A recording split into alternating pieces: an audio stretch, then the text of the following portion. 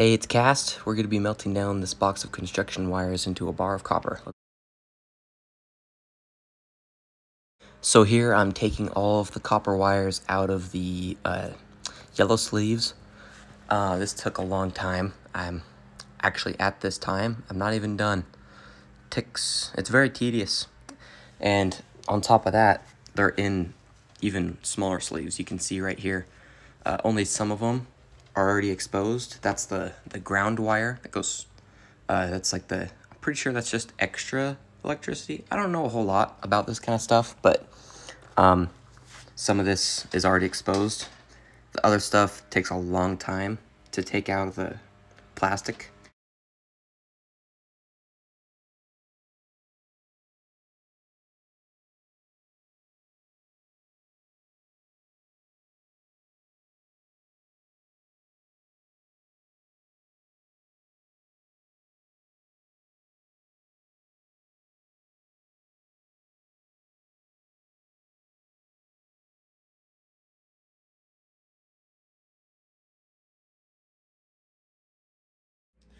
So, uh, I just wanted to show you uh, the the process I take when I take these wires out. Uh, when it's about this size, it's and straight like this, not too many bends. I just like to take these uh, plier wire cutters, whichever ones are closer, and just yank them out like that. And the other two, pretty easy. Um, sometimes I'll have to cut them in half or or uh, take a knife and cut right down the middle of the sleeve, um, which takes even longer, obviously, but uh, I just wanted to, because uh, those time lapses, they don't show it very well, but this is about how much I got out of that. It's kind of hard to see. This is about one foot of wire when it's folded in half.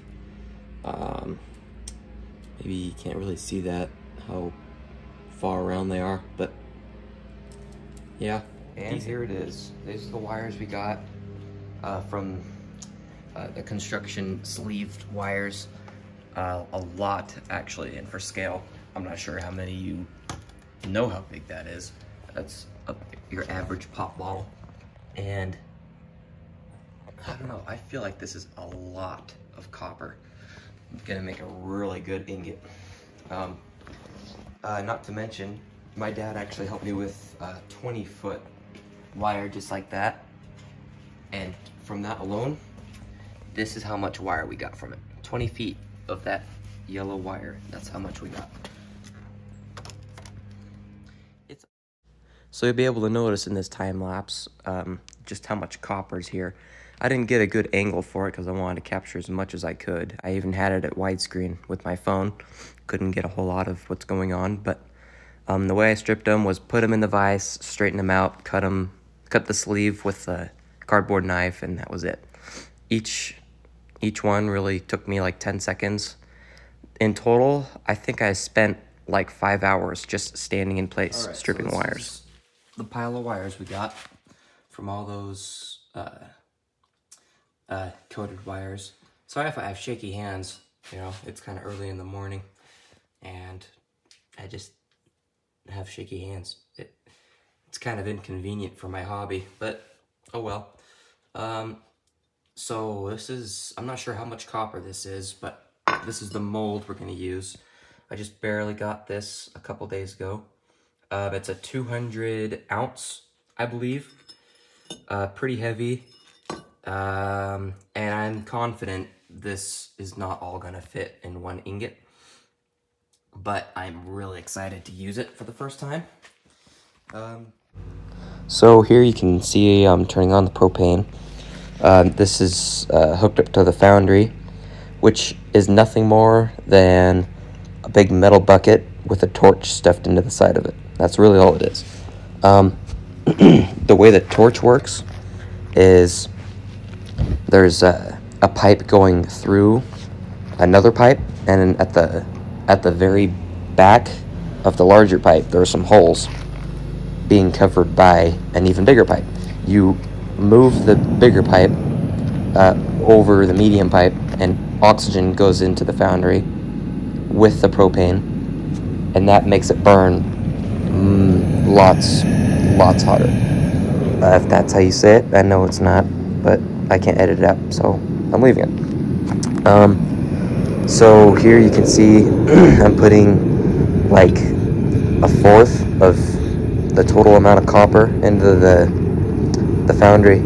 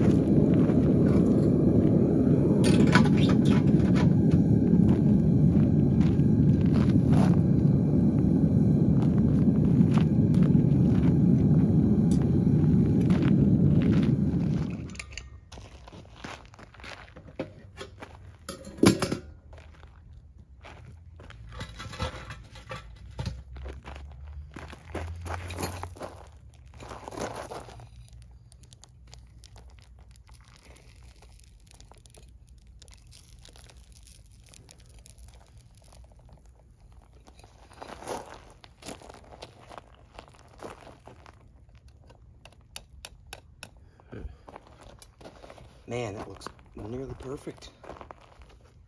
Awesome. Let's go put this where it can't hurt anyway.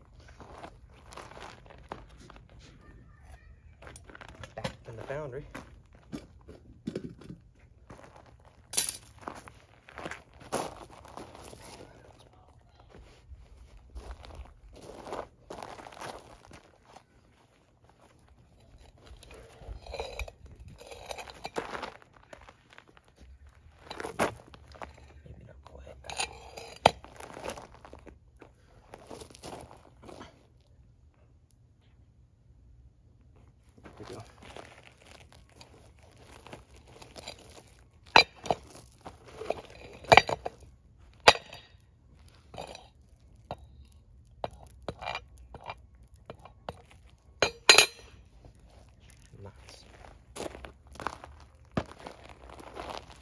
All right, so these are the bars we got.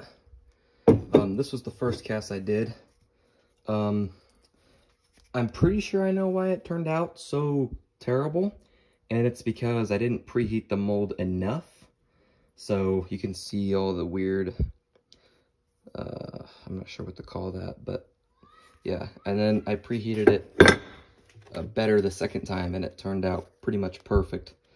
Um, except for a little bit of spillage here, but that that's easy fix. Um, um, I had troubles, like I had this piece of rebar I'd use to stir it around and get the slag uh, more refined, I guess you could say. Get more of the copper out of the slag before I got rid of it, which I didn't have a whole lot at all. Uh, this, this came off of here. Um, and then my little slag spoon was being stupid and took literally 99.9 trillion percent copper with it. So honestly, with all this extra stuff here, I could make a little coin. In fact, there's still more over by the where I did it. Oh, I'm really mad about that though.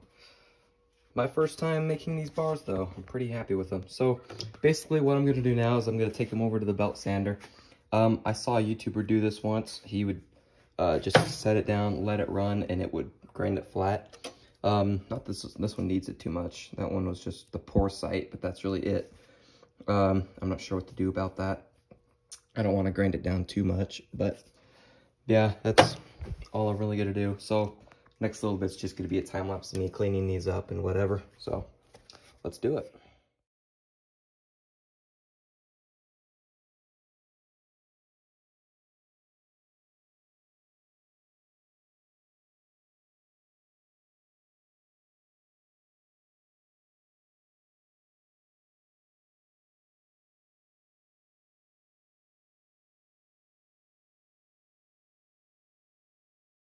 So after about 15 minutes on the belt sander, this is what the first bar looks like.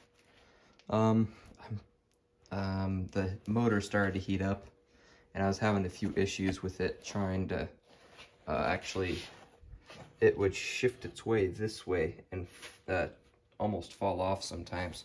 I had to add some craft sticks to the bottom and that still didn't fix it but at this point I'm able to just take the grinder to it and uh, take all this deeper crap out of it.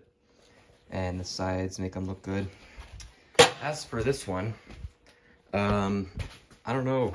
I think I'm just gonna make it not look quite as ugly. I don't know about all these really deep spots. Those are gonna be a pain and a half. But yeah, as of just right now, I'm just gonna focus on this bar.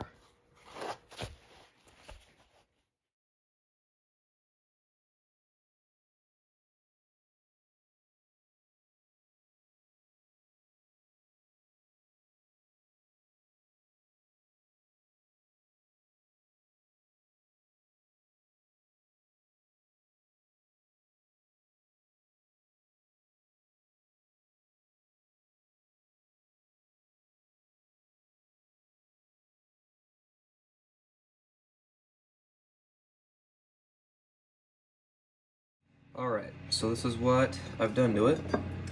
Um, I've cleaned it up, first of all, for the most part. Um, I gave it, gave it a cool edge design for the, for the sides. Instead of just a, an immediate drop-off, I give it like a... I'm not sure what to call this, just like a, a slanted drop-off. You can kind of see it like that. Um, and then I took my pins um, and well I've only used them once which was this time I'm not very good at it yet but yeah as for this one I didn't grind it I did take the wire brush to it to make it look actually a lot better. Um, I feel like grinding it would just take way too much off to make it even look decent. So, honestly, I think it, looks just fine like this. And there you have it. This, this was like a hundred feet of wire just recently. It's just a big couple of bars. Well, hope you enjoyed the video. If you did, then do whatever you want. I'm not one of those YouTubers. Have a good day. See ya.